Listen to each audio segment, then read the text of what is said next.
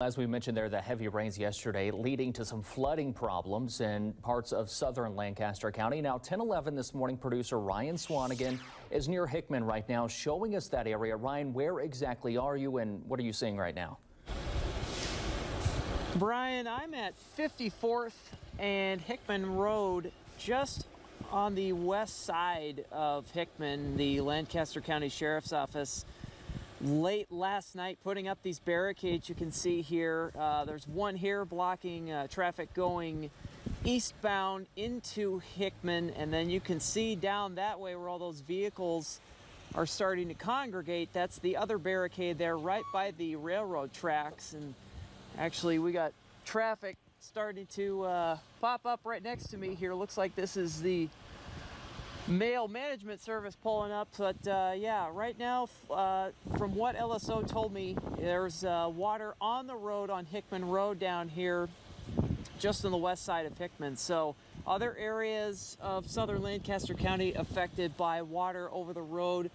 We're going to try and drive around the area and see other spots that have been affected, and we'll continue to update you guys as the morning progresses. Laura. Well, damage and debris after storms with heavy winds and heavy rain yesterday, including in southern Lancaster County, where the floodwaters have risen. 1011 this morning, producer Ryan Swanigan is in Hickman right now with a live look at what people there are dealing with. Ryan, what are you seeing right now? Brian, I'm at 54th and Hickman Road. I'm actually just moved to the east side of the railroad tracks here on the west side of Hickman. Uh, and as daylight approaches and provides a little bit more light on the situation, you can see there is water over a good chunk, if not all of Hickman Road. Uh, between the two areas of 54th. One's on the west side, one's on the east side of the tracks. But there is a very large amount of water that spans from a good area both north and uh, both on the north and the south side of Hickman Road. You can also see off to my left over here, this is just next to the Hickman Fire Station. You've got wa uh, water that's kind of pooled up there so the situation down here in Hickman is don't use Hickman Road. Don't try and drive around the barricades. Lancaster County Sheriff's Office set these up late last night because of the water on the road. Again, Hickman Road on the west side of Hickman covered with water. But Laura, over to you. Well, as we mentioned here, heavy rains yesterday leading to some flooding problems in parts of southern Lancaster County. 1011 this morning, producer Ryan Swanigan is near Hickman right now, showing us that area. Ryan, where exactly are you and what are you seeing?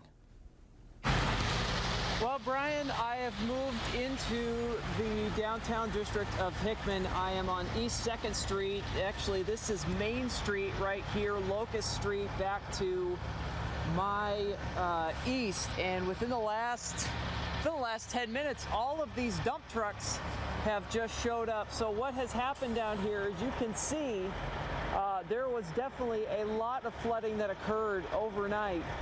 Uh, BNSF, it looks like, has called in these dump trucks to add all of this rock to pile up along what looks like some sort of construction zone of theirs that they're doing or that they have along the railroad tracks here in downtown Hickman. We're on the southwest side of the town.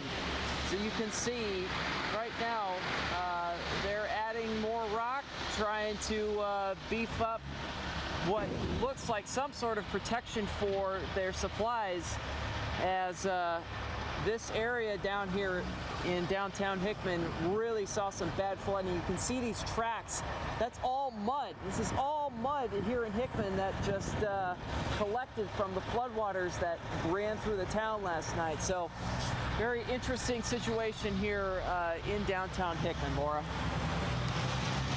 Damage and debris after storms with high winds and heavy rain last night, including in southern Lancaster County where the floodwaters rose. 1011 this morning's producer Ryan Swanigan is in Hickman right now with a live look at what people there are dealing with. Ryan, what are you seeing? Brian, I am at East 2nd and Main Streets here in downtown Hickman, the business district. Right now, BNSF working on uh, getting rock what looks like they're uh, getting more rock posted in this area where this railroad crossing is, and the railroad tracks run uh, along the southwest side and the west side of Hickman. Uh, as a result of this flooding, um, lots of damage down here in this area where the waters got very high. Uh, one thing that's consistent down here and across all of Hickman is tree damage. I failed to mention this earlier. There's a lot of tree damage throughout the town. Something else I want to show you guys. Uh, I just talked with the uh, city assist, uh, the assistant city administrator with Hickman.